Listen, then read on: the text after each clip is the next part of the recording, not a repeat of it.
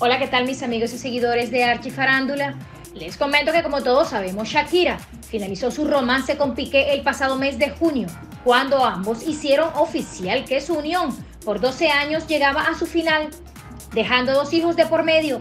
Sin embargo, lo peor estaba sucediendo de puertas hacia adentro, ya que la colombiana descubrió que su pareja estaba interesado románticamente en otra mujer, Clara Chía, con quien se le ha relacionado desde que iniciaron los rumores.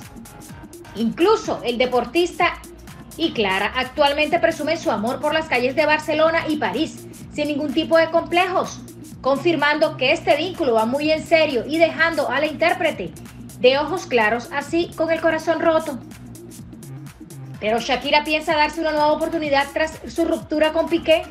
De esto conversó la también bailarina y empresaria en una reciente entrevista con la revista Elle, a quien les confesó que se encuentra en una de las etapas más oscuras y difíciles de su vida, por lo que eso no se encuentra entre sus listas de prioridades.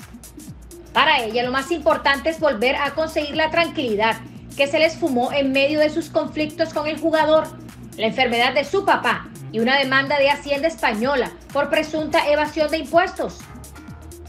Toda mi vida he estado en relaciones y pensé que ese era el estado ideal para una persona.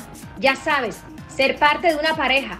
Pero en este momento somos solo yo, los niños, mi familia y esos amigos con los que tengo contacto periódicamente, confesó la barranquillera.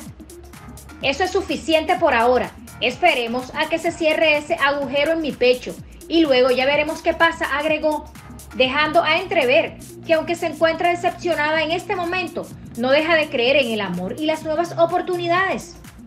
No obstante, se da el tiempo para sanar, llorar el duelo y pasar la página de manera sana, algo muy recomendable para todas aquellas personas que han vivido experiencias similares, porque sí, una mala relación no puede definirnos o frustrarnos nuestra vida romántica para siempre.